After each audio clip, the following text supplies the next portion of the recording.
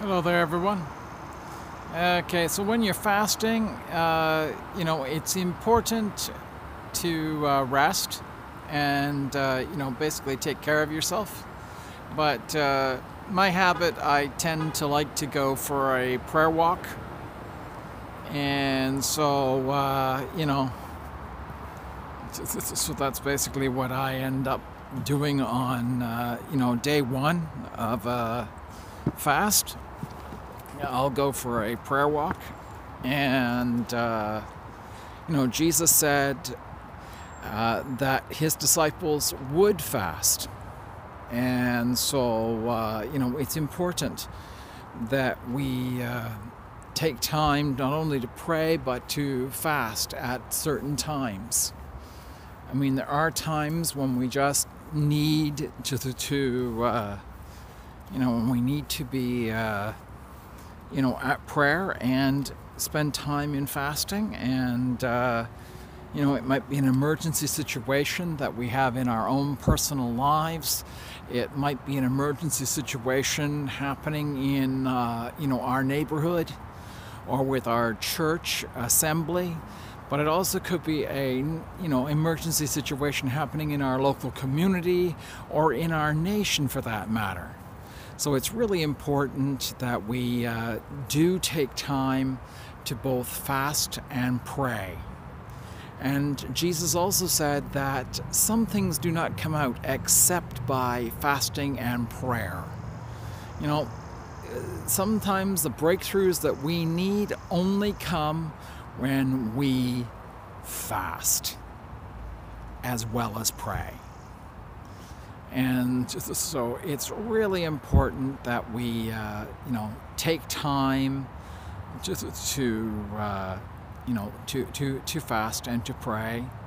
But also, you know, if you read in the book of Acts, you find that when Peter got thrown into prison, that the disciples fasted and they prayed. How long they fasted for and how long they were praying for, the Bible doesn't say. It doesn't say in Acts.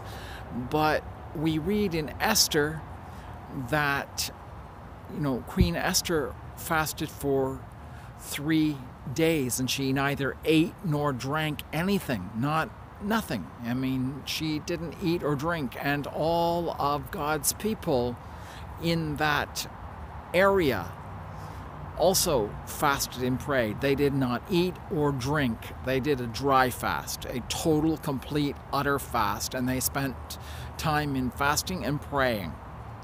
And and and it was mainly fasting. You know, they, they fasted and they mourned before the Lord and they did pray.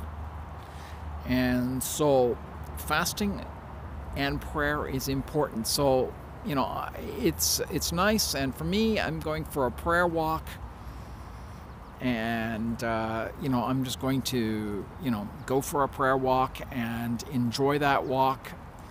Um, but it's not going to be a huge long walk. I mean i'm not going to go for miles okay? I am fasting so while it's not recommended to go uh, walking um, i'm doing a water fast.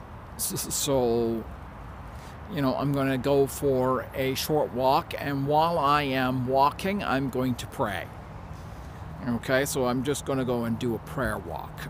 Okay, and so uh, in any case, you know, otherwise, find yourself a nice, quiet corner of the world, you know, a park or, you know, or out your backyard or wherever, um, just someplace quiet where you can spend time in prayer while you're fasting. In any case, you have a really great day. God bless. Wish you well. And uh, here it's nice and sunny, as you can see in the background. So have a great day. Wish you well. And uh, I'm going to put more updates. This was the third uh, video that I'm doing. And uh, so thank you very much. You have a really wonderful day. And God bless. Bye.